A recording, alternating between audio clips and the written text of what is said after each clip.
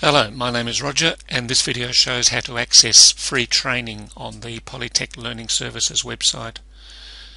The link is on the right hand side but you will need to log in first.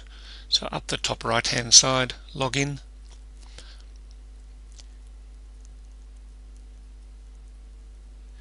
Enter your username and password assuming you've already created an account.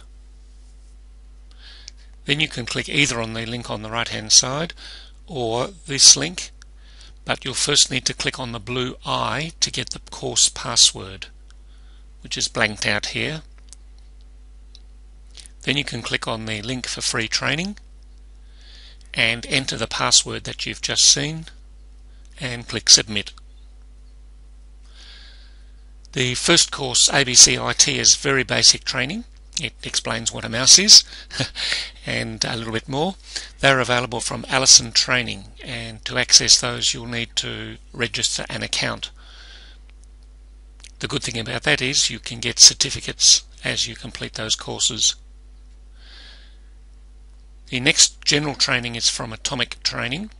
When you click on that link you are automatically logged in under a general Tasmanian Polytechnic account and you can see there's a range of Microsoft courses or training videos I should say.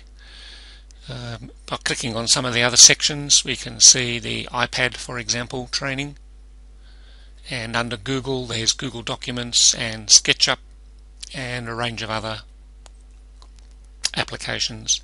You can also search for an application in this case if I type in Moodle and click on the Find Tutorials button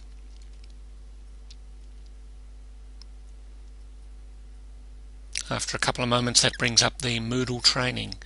And this Moodle is Moodle 2 and there's teacher and uh, student training there to click on.